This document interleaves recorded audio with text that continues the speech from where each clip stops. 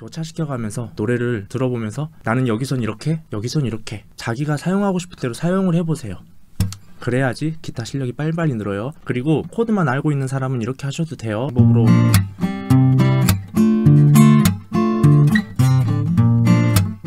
하셔도 돼요. 근데 저는 기타를 치면서 노래 부르는 거를 약간 생각하고 편곡을 하는 스타일이라서 조금 더 예쁘고 기타 소리도 끊기지 않고 예쁘게 치는 방법으로 편곡을 했으니까 제가 알려드린 대로 하시는 게 노래 부르는 것도 편하고 코드 voicing도 나중에 생각해보면 좀 더 예쁘고 그럴 거예요. 엔플라잉의 옥탑방 어떻게 치는지 알려드릴게요. 맨 처음에 나오는 코드는 B flat major 7 코드인데요. 검지손가락으로 1번 프렛을 barre하시고 중지손가락으로 2번 프렛 3번 줄 약지손가락으로 3번 프렛 4번 줄, 새끼손가락으로 3번 프렛 2번 줄이에요. 이렇게 생긴 메이저 7 barre 코드 잡으실 때 약지손가락 밑에 새끼손가락이 쏙 들어가 있게 해줘야 돼요. 이렇게 똑같은 모양으로 쏙 들어가 있게 만들어줘야 돼요. 그리고 최악은 이게 떨어져 있을 때 이렇게 손가락이 떨어져 있으면 안 돼요. 이렇게 예쁘게 붙어 있어야 됩니다. 그래야 나중에 어떠한 메이저 7 코드를 잡을 때 바로 잡을 수 있어요. 왜냐면은 새끼손가락이 약지손가락 밑으로 들어가야, 된, 들어가야 된다는 그런 느낌 때문에 조금 더 빠르게 잡힌답니다.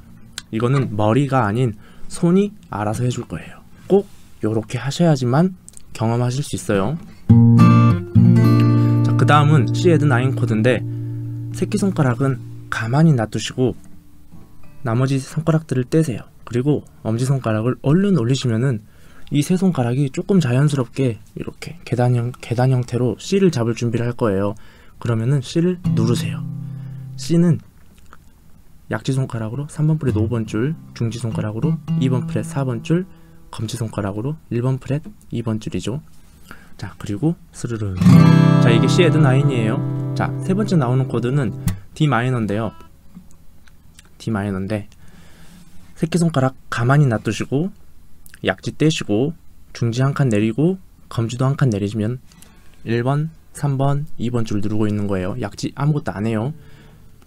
약지 손가락 어디다 놓을지 몰라가지고 막 이상한 거 누르고 있고 막 2번 줄 누르고 있으면 안 돼요.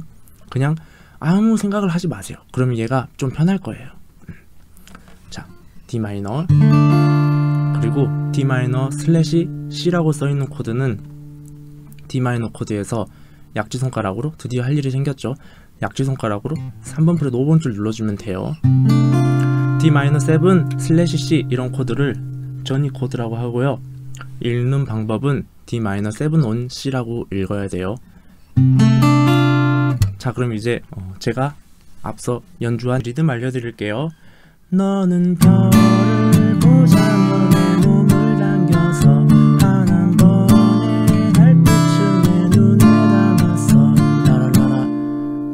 어떻게 된 리듬이냐면요. 잘 보셔야 돼요. 1, 2, 3, 4, 5, 6, 7, 8 1, 2, 3, 4, 5, 6, 7, 8 1, 2, 3, 4, 5, 6, 7, 8 1, 2, 3, 4, 5, 6, 7, 8 B 플랫 메이저 7으로 1, 2, 3, 4, 5, 6, 7, 8 C 헤드 9 2, 3, 4, 5, 6, 7, 8 D minor 7 slash C는 나중에 칠해하는 거예요. 1, 2, 3, 4, 5, 6, 7, 8 이거를 palm mute를 섞어서 하는 거예요. 1, 2, 3, 4, 5, 6, 7, 8 1, 2, 3, 4, 5, 6, 7, 8 1, 2, 3, 4, 5, 6, 7, 8 1, 2, 3, 4, 5, 6, 7, 8 아이고 이런 식으로 하시는 겁니다. 이제 percussive 주법 알려드릴게요. 너는 별을 보자며 내 몸을 당겨서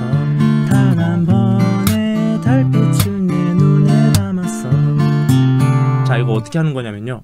자 플랫 메이저 7 코드는 5번 4번 3번 2번으로 percussive 하셔야 돼요. 5번 4번 3번 2번 chop 4번 3번 2번. 자 percussive를 조금 예쁘게 하시려면은 여기로 무지막지하게 막 이렇게 때리는 게 아니라 엄지손가락으로 때리시는 거예요. 이렇게. 엄지손가락으로 이렇게 때리라고 해가지고 엄지손가락으로 이렇게 이렇게 딱딱하게 들어오는 게 아니라 약간 연구 없다 하고 빡 들어오는 것처럼 이렇게 이렇게 들어오셔야 돼요. 그래야지 나중에 percussive 소리도 나고 기타 소리도 나고 이런 연주할 때 편해요. 이런 거 하실 때. 자 그러면은 B 플랫 메이저 7 다시 5번 4번 3번 2번 chop 4번 3번 2번 C add 9도 543이에요. 똑같아요. D 마이너 7은 아니 D 마이너는 431 그리고 D 마이너 7 on C는 왼손 잘 보세요.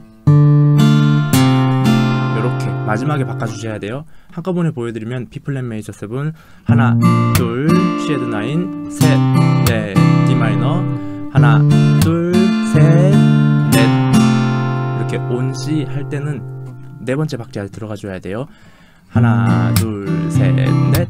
하나 둘 셋 넷. 이런 식으로. 그래서 이거를 아까 했던 palm mute 주법하고 percussive 주법하고 교차시켜가면서 노래를 들어보면서 나는 여기선 이렇게 여기선 이렇게 자기가 사용하고 싶은 대로 사용을 해보세요. 그래야지 기타 실력이 빨리빨리 늘어요